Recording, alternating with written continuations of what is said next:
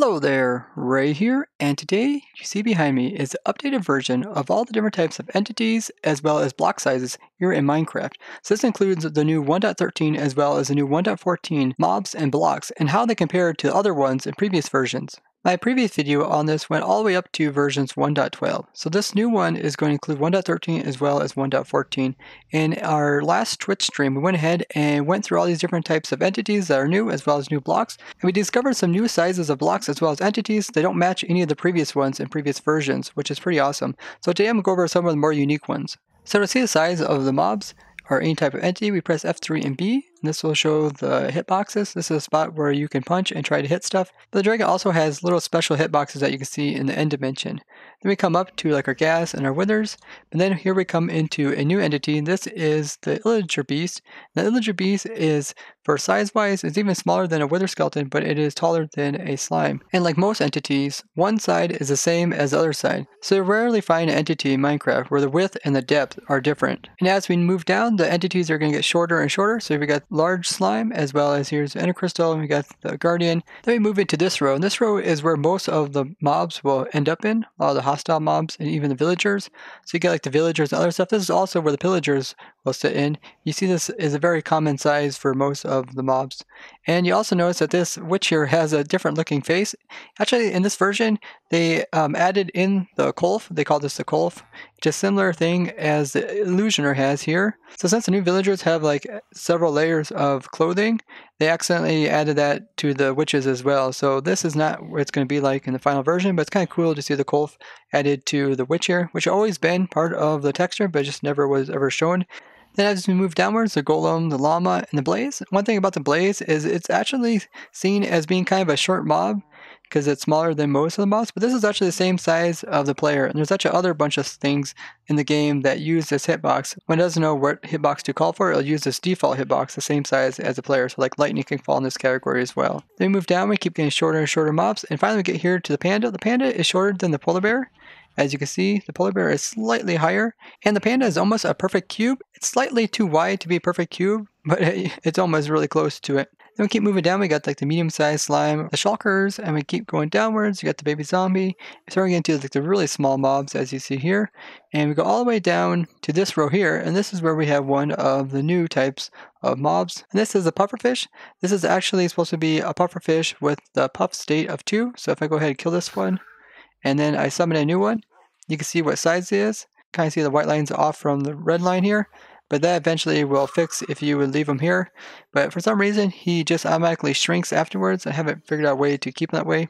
He's actually the same height as these guys over here, going with like the chicken, the ocelot, as well as the minecart. Then there's a dolphin here, and he is slightly shorter than these, and he is a unique size. As you see, he's in a category all by himself. I couldn't get an exact size for his height, but I think it's around 0.6 meters tall. And as we move down, we come into this row. This row is supposed to have a trident here. And the trident is about the same height as a boat. And it's also supposed to be a leash here. But those things are notorious for vanishing. Then we go into this row here, and this row has another state for the pufferfish.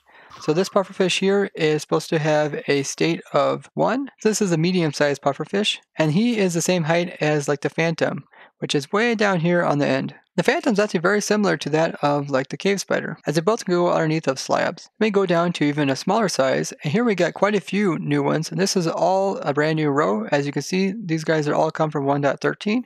So we got the tropical fish, we got the salmon, as well as the turtle. They're all exact same height. Even though they look kind of different, if you get down here to actually see where their hitboxes are, you can see they're all at the same height level. And then we got a new category here, and this is a unique category as well. This is a puffer fish with a state zero. So this is the smallest puffer fish, and he is just unpuffed, as they call him. Then after that, we have some of the even smaller stuff. So we got like the wither skulls, as well as the shulker bullets.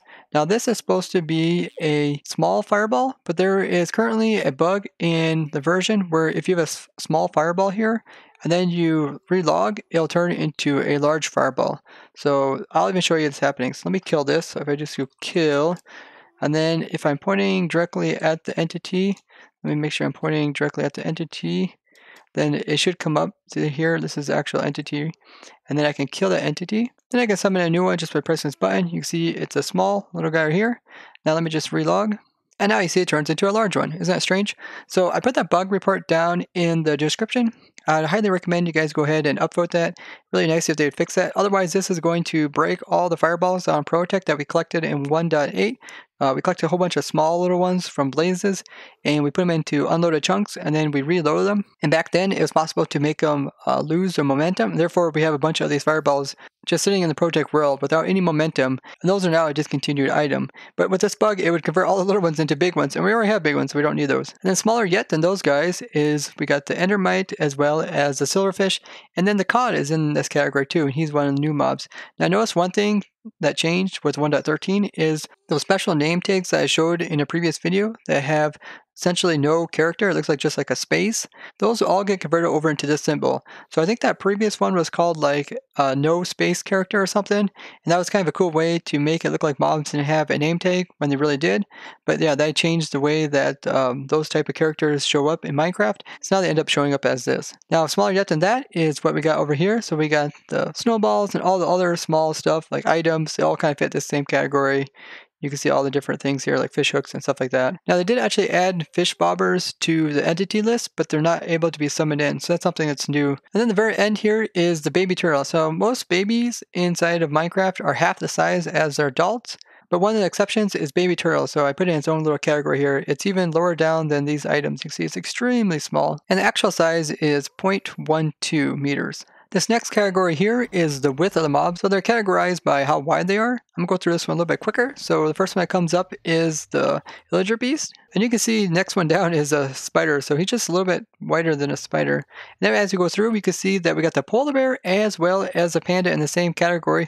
Both these guys are the exact same width. So at first it might not look like this, but essentially you can see the polar bear, even though his hitbox is right here, you can see that he kind of hangs over with his rendering, but they both are exactly the same width. Turtles are very wide. You can see the turtle is another new mob, and it is just slightly less wide than the bears over there. Then we move down, and it's not until we get into this row where we have the dolphin, which is actually the same width as all these mobs, such as like the wither and the cows and other mobs here. Then we move down all the way down till we get to this category here, which has a bunch of different looking mobs, but they're all the same width. So we got like the spiders, the withers, and we also got the salmon, as well as this is supposed to be a pufferfish with the state of two. So that's the largest size pufferfish that you would find. And this next category here is the width similar to that of the player. So if you look at the player, you can see that these guys are all the same width as them, which is kind of funny because ocelots are like the same width as like the skeletons over there. And this next category has quite a few new ones. As you see, I put in command blocks so that way when I would upgrade from like 1.12 to 1.13, I can easily summon these guys in if they have advantage. So this one is supposed to be a trident,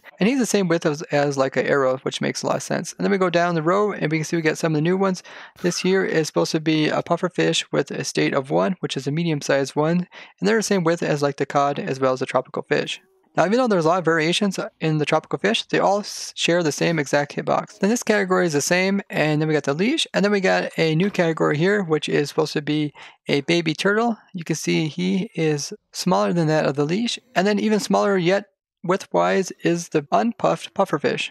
So this is a puff state of 1. And then towards the end here, we got the other types of entities. And then down here, you would have like the area effect cloud as well as the baby mobs. So besides new entities, there's also new blocks. And these are probably the most exciting ones. I had a lot of fun going through here and finding out different types of sizes that came out with the 1.13 as well as 1.14 update. So let's first go through the block heights. So this is where you stand on top of a block and you can see like up here in the F3 screen, you can see how high it is, like staying on top of this fence here would put the player at 0.5 meters tall over top of a normal block. And using this, we just categorize all the different blocks. So the cool thing about blocks is a lot of times they align to pixels. And this makes it somewhat easy to categorize because the player, like here, is staying on top of 16 pixels, but when he moves over to here, he's staying on top of 15. This would be like 14 which also makes it kind of easy to understand. So one of the first new ones that we come into is this category here, where we come into a bell. So staying on the very top of the bell is similar to like standing on top of farmland as well as cactus. The next row we see some new ones as well. So this is a row of 14 pixels, and what we got here is a grindstone on its side as well as a lectern. Cool thing about lectern, this top part here is just all render. So if I would stand on top of it, you can see I'm actually standing on that kind of podium part.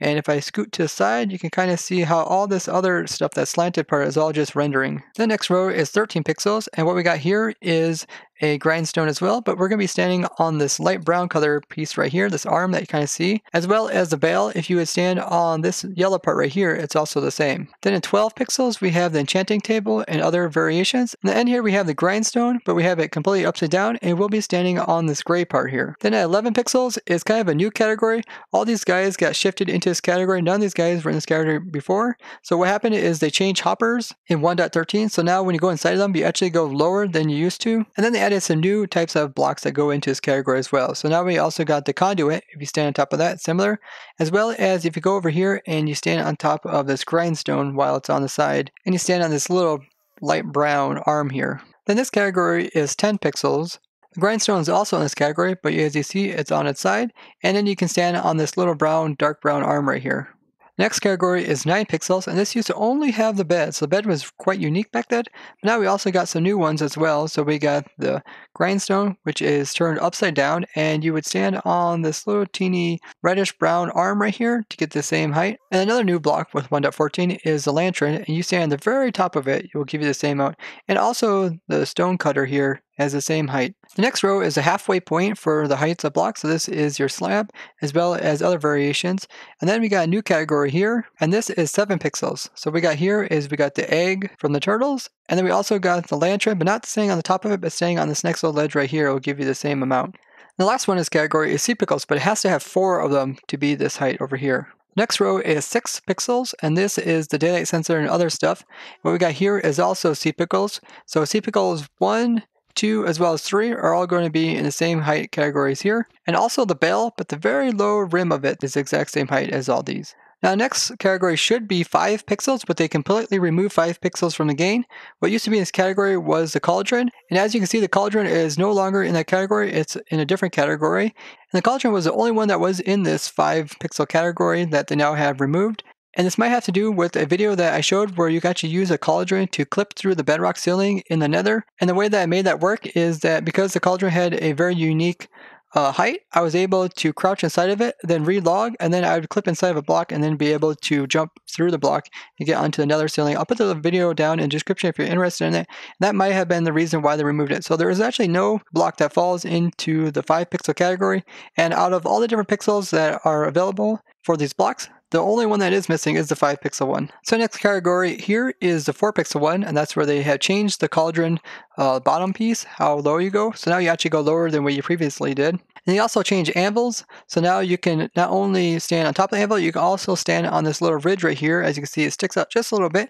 So by standing on that little ridge, it'll give you the same type of height as these other blocks. The 3 pixel category still only has a trapdoor in that category, and there's nothing else in there. Now we move on to the 2 pixel category.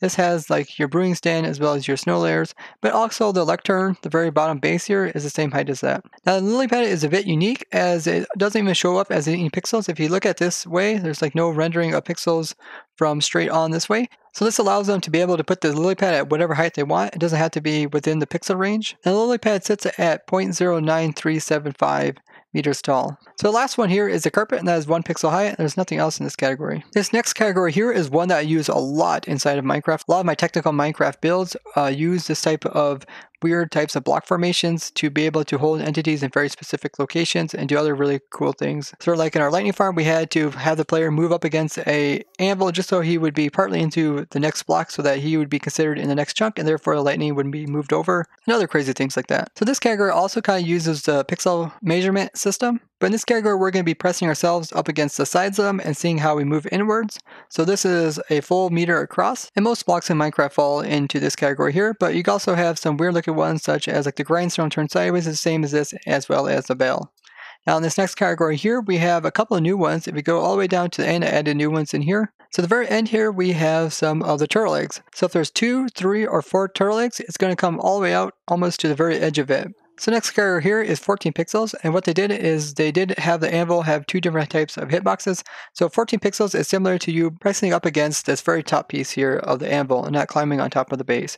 What also is in this category is we got the three sea pickles as well as the four, and we also have the grindstone turned on its side, pressing up against this brown piece here, as well as pressing up against the gray piece here. Now for the 13 pixel category, We have the anvil. This time you stand on top of the base and press up on the main piece right here. Then we have the two sea pickles, which is smaller than the other variations of them.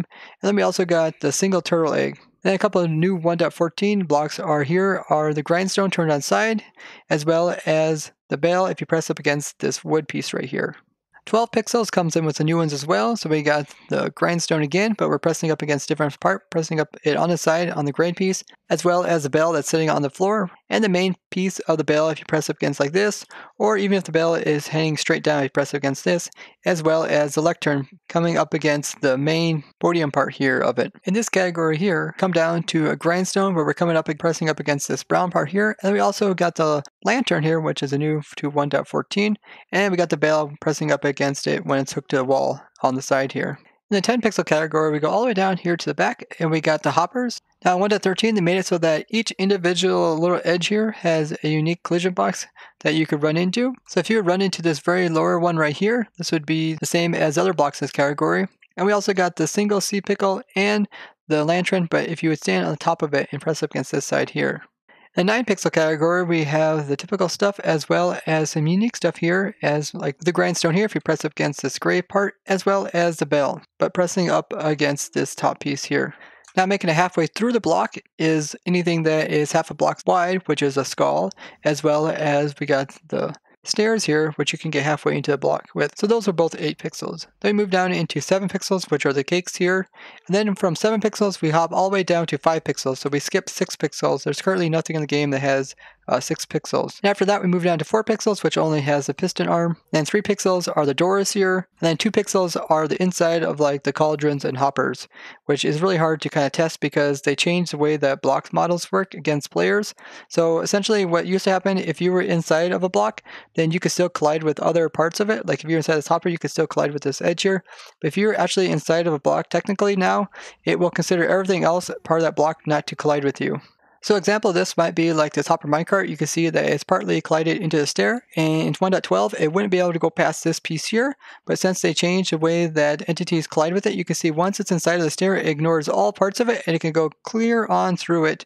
And this is something I didn't really like because it means you cannot hold hoppers or any other type of entity in very specific spots within inside of a block. But it might be related to a new thing that I found out, which came with 1.13 as well, which allows you to be able to place blocks inside of entities. So typically you wouldn't be able to place a stair here if you were standing on the edge like this, but since they changed it, now it's possible to place a stair there which is a really useful thing for builders. You can also do really cool things like having an entity here and you can still place a trapdoor onto this redstone block. So typically what would happen is the trapdoor would be placed like this and it would not allow you to collide with it. But now when it places it down, it's going to automatically place it like this. So this is the default and this is when it's powered. So you can see I can click right here and it's automatically places the trapdoor there, even though normally the default model would collide with this hopper minecart. Now there is one special block in this category and this is the bamboo.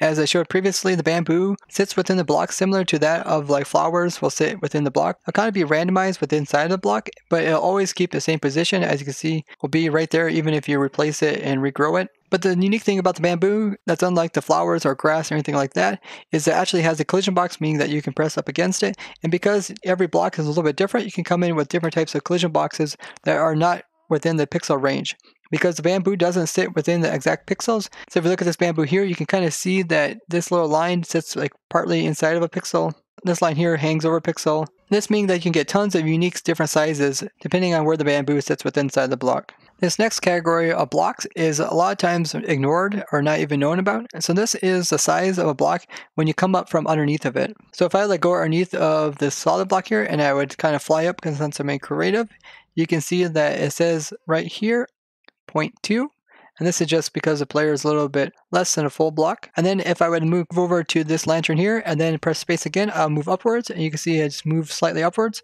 And this category also goes in the pixel ranges. And both these are unique blocks as they never existed before, moving in by one pixel as well as two pixels. And prior to that, you had to go all the way down to three pixels, which is where the bean used to stay here. But we also had the chorus plant, which is really hard to get a lot of times in survival because you had to actually you to plant the flower and have it grow this shape. You can't actually collect these uh, plants in survival. I wish they would allow that so you can get these in survival. So you can place them down and make whatever creations you want. But now there's a lot easier variation of this type of block, which is the grindstone turned upside down. And you have to go up against this little brown piece right here. And then moving four pixels in is like the piston base here, as well as they got the new hoppers. And then like this very little low edge right here, you can stand underneath that and also standing underneath of the underside of the bell and also the bottom side of the grindstone here.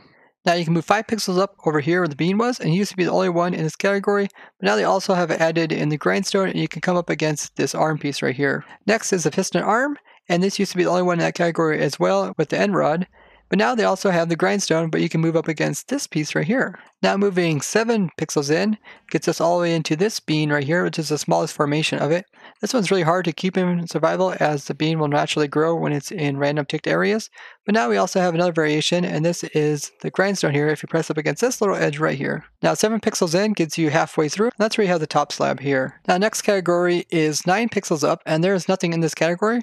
Then we get to 10, and 10 is this hopper here. If you go and press up against this top piece here. Then next is 11 pixels in, and there's nothing in that category as well. The next one is the piston head, which is that piece there, as well as the very end of this piston arm here. So similar to that of like a fence, the piston arm piece here actually moves downwards, so you can't actually press completely up against it. So it partly goes into the next block. So you can see like this little gray area is in the same area as like that block over here. So a lot of people know about like fences and like gates that they're taller than just the single block they occupy. A lot of people forget about piston arms, which actually do occupy the next block over. Then you come into 13 pixels in, which is our trapdoor. And exactly like the trapdoor is this little brown piece that comes off of the bell here.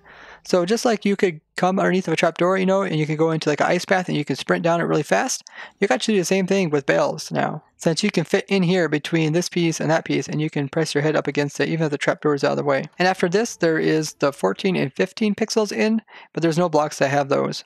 Understanding these blocks can also help in mob farms because a lot of times with mob spawn, they will check around them to see if they're colliding with other blocks and if they collide with them, then they won't be able to spawn. So something like a farm like this where we would use different type of blocks to block the spawning for certain types of mobs. This is what we did on our wolf farm to get down so that we only have a couple mobs to sort out. So having something like an end rod above a grass will prevent cows as well as like horses from spawning. If you go all the way down here, you can just have some like pig spawn, you can prevent the other ones, or you can just have like your chickens and rabbits spawning, and you can prevent all the rest from spawning in a small area like this. You also can do this for like hostile mobs, like you can prevent skeletons from spawning since they're slightly taller than zombies by doing something like this where you use the height of a zombie, or you can even come in here and allow it so that only like blazes or creepers will be able to spawn in, and not even zombies, because they won't be able to fit underneath these trapdoors. And you'll see I use this type of behavior in a lot of my farms. One of the fellow ProtoTech members, Narcoleptic Frog, actually helped me make a Google document that illustrates some of the different size entities and I came in and filled in all the ones that are missing and also categorized them so they're exactly as you see them in my world here. Now I will provide the world download as well as this Google Documents. You guys can come in here and check it out. You can also make comments if you see anything that's incorrect. And there's a tab down here for the block top sides as well as the block sides and then the block sides for the bottom as well. I didn't put down all the different types of blocks here on the offside, but I got quite a number of them so that you can get a good idea of which are which. All the new entity sizes as well as the block sizes for 1.13 and 1.14. I'd like to thank you guys for watching, and if you found this interesting, show me a like and share this with others. I greatly appreciate that. If you'd like to see more technical Minecraft videos like this for Vanilla Survival, go ahead and subscribe and hit that bell button to get notifications. And if you guys find anything that looks incorrect about this, tell me down in the comments or make a comment down on the Google document. 拜拜。